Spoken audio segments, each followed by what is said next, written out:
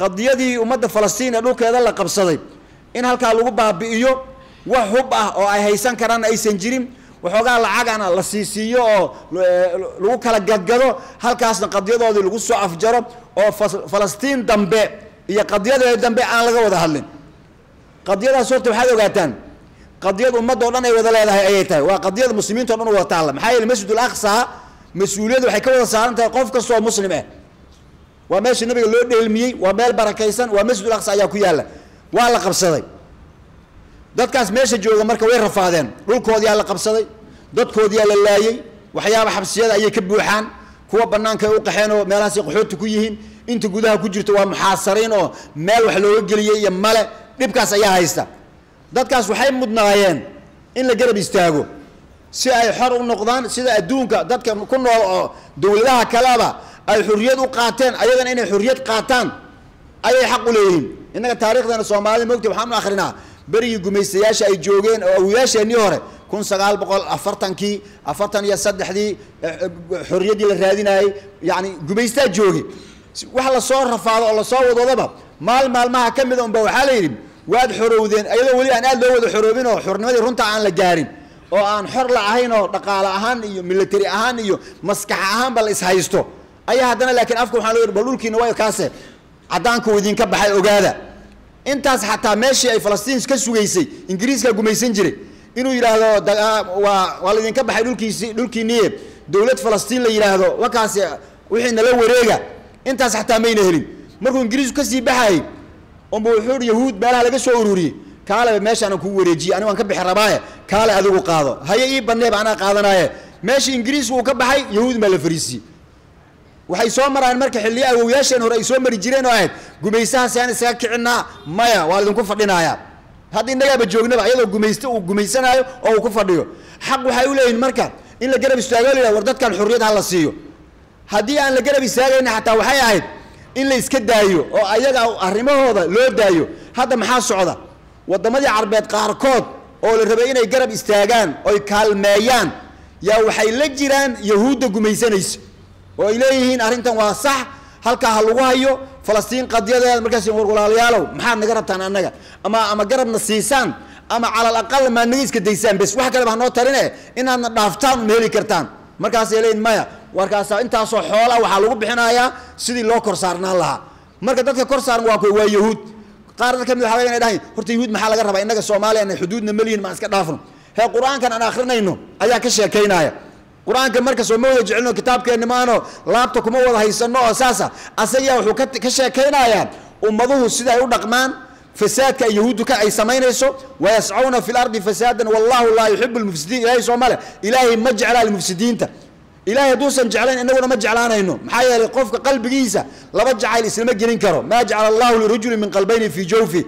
Inaan ilaahay jeclaano iyo inaan kuwa ka soo horjeedo ilaahay aan jeclaano meel islama gelayso marka qur'aanka sheekayntiisa iyo aayadaha markay soo maraan ayaan uga sheekayn horta waa midaas baashaas safqatulqarniga la yidhahdana aan u ducayno shacbigaas reer falastiin. Makrigan ay u soo maleegeen ay isleeyihiin waa midii ugu dambaysay ee qadiyadaas lagu hilmaami lahaa inay u noqoto nasran mu'azaran oo ah midii ay ku xoroobi lahaayeen. Oo adduunkao dhan markuu isla arko sida loo dulminaayo intii muslim ahna qalbigooda ilahi intuu soo jeediyo ay dhahaan war dadkaas qof u duceeya iyo qof wax gaarsiiy yani wax u dira iyo qof un wax un u qabta ha la wada noqdee yaan garab lagu siinin cadowgaas haysta oo yaan lala safanin. Waxaa kaloo mushkilaha hadda maalan africa waa kana waa waa la iswada saamaynayaa ra'isul wasaaraha yahuudda intuu imaado uganda yu africa wax ka raadinaya muxuu rabaa marka? Yani fidnadaas la afuufaya lawada la wadagelinaya dadka. Laa litadbiic calaaqaadka oo yahuudda iyo ma yeelayno waana fiidad qaar waxay dhahan maal iska yeelo. Qaar waxay dhan ogtahay waryaqa yahuuddan maal iska ogolaada haye la iska dhaho. He yahuud hadday dhul kale intay iska joogto adduunkaas kale caadiga ay noqon lahayd. Markaas waxaa leeyi lahaa haye wax ma darsan karaa mise ma lala macaamuli karaa? Laakiin dhul islaameed intay qabsato oyna ogoleen dhulkiina inay ka kacdo kamana kacaysa ilaa laga kiciyo ma waxay ku dhulkaagiina way haystaan. Haddana ma iska ogolaatiin waxaa le waaqic yaalla ayaa jire. Carabtu waxay ku maamahaan tajuucu lxuratu walaa ta'kulu hadyayaha gabadha xortaa way gaajootaa laakiin naasaheeda ma cunto waan gaajaysanahay naaskiisoogo waan cunaaya ma yeelayso. Innagana soomaliya waxaan dhahnaa haddii la dhimanaayana dhareerka waa la iska duwaa.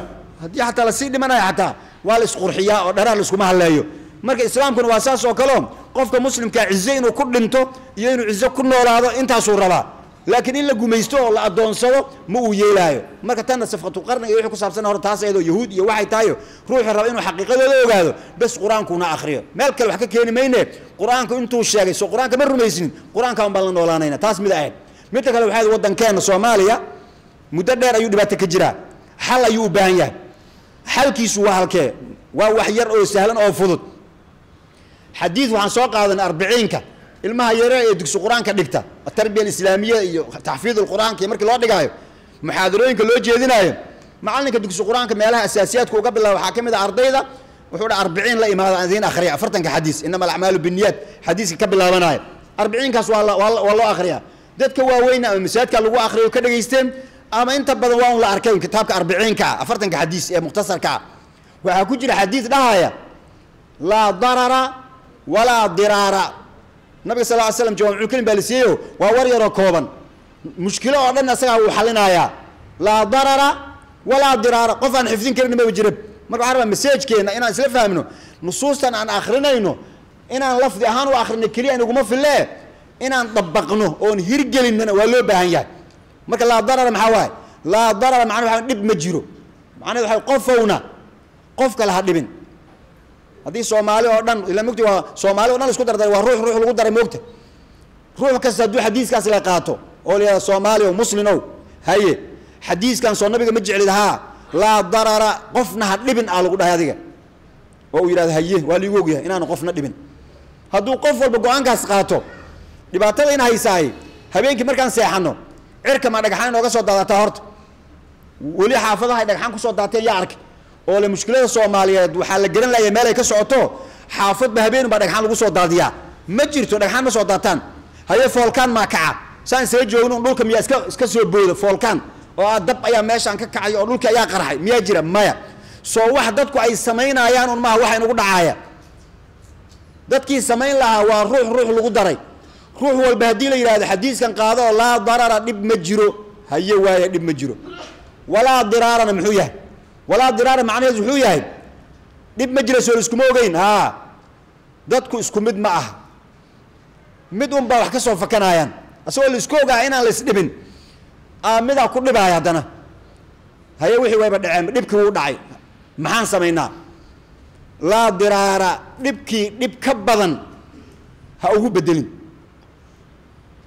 haddii dhib dhacay dhibka dhib ka daran yaan lagu bedelin hadda waddankeena ka soo qaad tusaalaan dagaalaa dhacaaya hal ruuxaa la dilaa tusaale ahaan.